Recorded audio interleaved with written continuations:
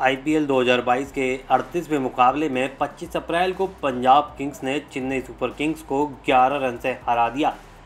2016 के बाद पहली बार आईपीएल में खेल रहे ऋषि धवन ने शानदार गेंदबाजी की, लेकिन उनकी बॉलिंग से ज़्यादा उनका लुक चर्चा में रहा।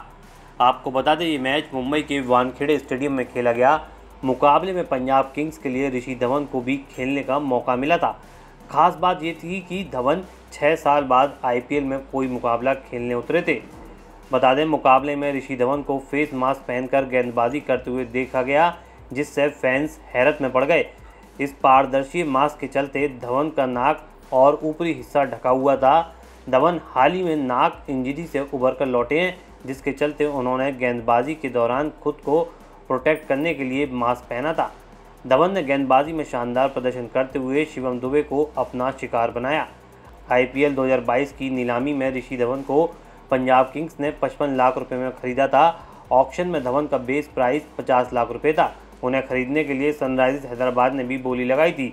धवन ने विजय हजारे ट्रॉफी के पिछले सीज़न में हिमाचल प्रदेश की किताबी जीत में ऑलराउंडर प्रदर्शन करके सुर्खियाँ बटोरी थी। आपको बता दें कि ऋषि धवन के अंदर ये डर तब से बैठा है जब वो इस साल रणजी ट्रॉफी के एक मैच के दौरान चोटिल हो गए थे।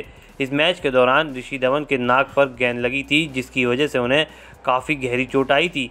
बाद में उनकी सर्जरी हुई, तभी से ऋषि धवन गेंदबाजी के दौरान ये प्रोटेक्शन शील्ड पहनकर आते हैं।